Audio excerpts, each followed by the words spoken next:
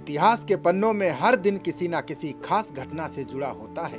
ऐसे में 15 जुलाई के दिन भी कई बड़ी घटनाओं ने देश और दुनिया पर अपनी छाप छोड़ी। 15 जुलाई 1912 में भारतीय सेना के महान अफसर मोहम्मद उस्मान का जन्म आजमगढ़ में हुआ था।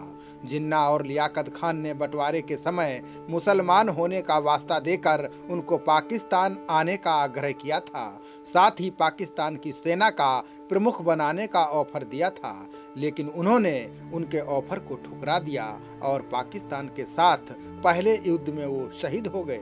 उनकी निर्भीक और बहादुराना नेतृत्व क्षमता के लिए उनको नौसेरा का शेर कहा जाता है। देश दुनिया के इतिहास में 15 जुलाई की तारीख पर दर्ज अन्य प्रमुख घटनाओं का सिलसिलेवार ब्यौरा इस प्रकार है। आज के दिन 1588 में इंग्लिश चैनल में ब्रिटिश नौसेना और स्पेन की नौसेना के बीच युद्ध शुरू हुआ था। आमेर के राजा तथा मुगल साम्राज्य के वरिष्ठ सेनापति जयसिंह का जन्म आज ही के दिन 1611 में हुआ था। आज ही के दिन सोलह में इंग्लैंड के राजा चार्ल्स द्वितीय ने लंदन में रॉयल सोसाइटी को अधिनियमित किया था। प्रसिद्ध भारतीय व्यवसायी और दानवीर जमशेद जी जीजाभाई का जन्म आज ही के दिन अठारह सौ तिरासी में हुआ था। केरल के प्रमुख नेता पत्तम थानु पिल्लई का जन्म आज ही के दिन अठारह सौ पचासी में हुआ था। भारत रत्न से सम्मानित स्वतंत्रता सेनानी और राजनेता के कामराज का जन्म आज ही के दिन 1903 में हुआ था। आंध्र प्रदेश की प्रथम महिला नेता दुर्गाबाई देशमुख का जन्म आज ही के दिन 1909 में हुआ था। भारतीय सेना के उच्च अधिकारी मोहम्मद उस्मान का जन्म आज ही के दिन 1912 में हुआ था।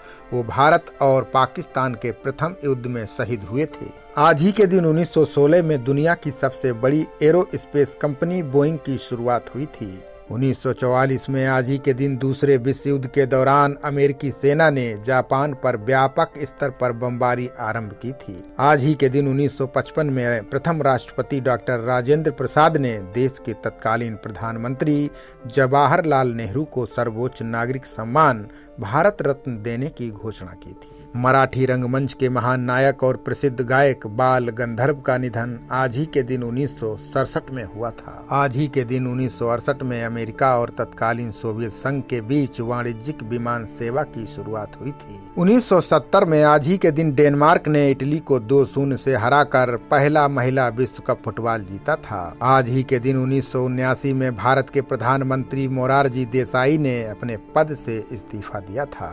उन्नीस सौ छियासी में आज ही के दिन महिला क्रिकेटर संध्या अग्रवाल ने टेस्ट क्रिकेट में 190 रन बनाकर विश्व रिकॉर्ड बनाया था। आज ही के दिन उन्नीस सौ छियानवे में प्रिंस चार्ल्स और डायना ने अपने तलाक के लिए आवेदन किया था।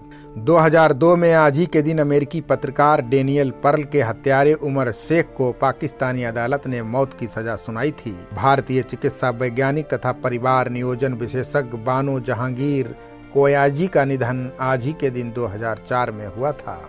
2008 में आज ही के दिन नेपाल में दोनों प्रमुख वामपंथी दलों के बीच देश के प्रथम राष्ट्रपति और उपराष्ट्रपति पद पर नियुक्तियाँ तथा नई सरकार के गठन पर सहमति बनी थी। आज ही के दिन 2011 में भारत ने एक ध्रुवीय उपग्रह प्रक्षेपण, यान पीएसएलवी द्वारा आधुनिक संचार उपग्रह जी सेट ट्वेल्व को अंतरिक्ष कक्षा में सफलतापूर्वक स्थापित किया था। गणित की दुनिया का प्रतिष्ठित सम्मान फील्ड्स मेडल पाने वाली पहली महिला गणितज्ञ मरियम मिर्ज़ा खानी का निधन आज ही के दिन 2017 में हुआ था।